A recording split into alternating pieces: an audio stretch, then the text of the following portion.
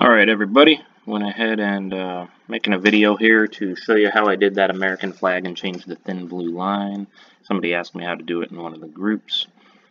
So I don't think my instructions were very clear, it's easier to just show you. So this is the image after I had already uploaded it and cleaned it up.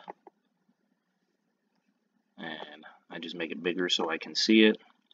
Notice the stars didn't come out all perfect, but that's okay because I wanted that really distressed flag look.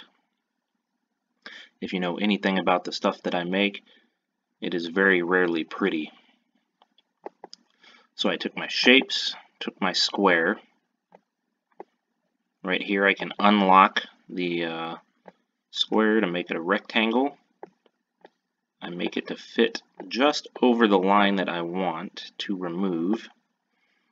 So now that I've removed that, I select all of the uh, image, select slice, move off this rectangle, delete it, move off the second piece of the layer, delete it, and now I can click just on that line. And going over to the right here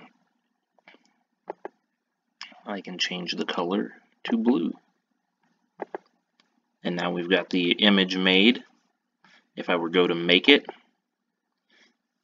you would now see that on the left side I have the black image, which is the entire flag, sans the one stripe, and then on the other one it's just the blue.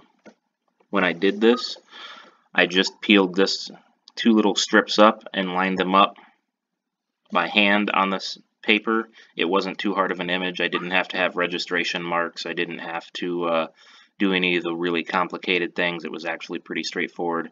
The only hard part was weeding the Oracal 5100, I think, which is the reflective vinyl for emergency vehicles. That is uh, very delicate stuff. It's hard to cut through, and then when you're weeding it, it really wants to rip all of the time.